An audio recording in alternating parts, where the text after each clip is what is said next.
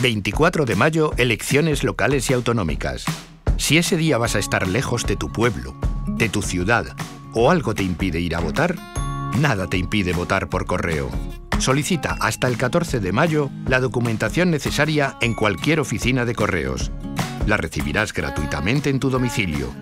24 de mayo, elecciones locales y autonómicas. El correo puede llevar tu voto. Junta de Castilla y León.